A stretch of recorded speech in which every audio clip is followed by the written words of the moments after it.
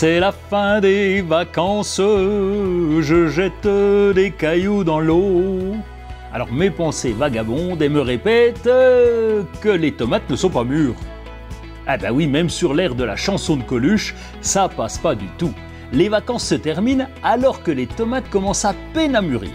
Et ben voilà, on se retrouve avec un paquet de tomates vertes et on n'a plus le temps de s'organiser. Alors, que faire? La première solution consiste à les cuisiner telles quelles, au four ou à la poêle. Et la confiture de tomates vertes va affoler les papilles de toute la maisonnée. Bon, c'est facile, 50% de sucre et 50% de tomates vertes. Et le tour est joué. Et sinon, il existe différents moyens de faire tranquillement mûrir vos tomates vertes. Pour les faire mûrir sur pied, il suffit de supprimer les fleurs et les derniers petits fruits car ils n'auront plus le temps de se développer. Ensuite, supprimez progressivement du feuillage afin d'exposer les fruits aux rayons du soleil. Optez pour ne retirer pas plus d'un tiers de feuilles.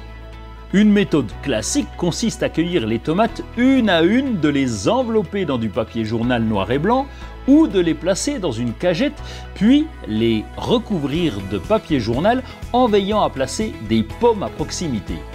Les pommes dégagent de l'éthylène qui accélère la maturation des tomates.